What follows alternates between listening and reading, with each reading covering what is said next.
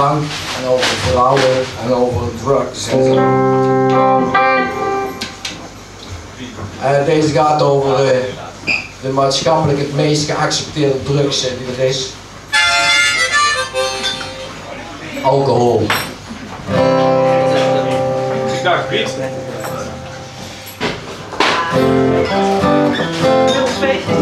Deze gaat over een glas en wat over de inhoud daarvan.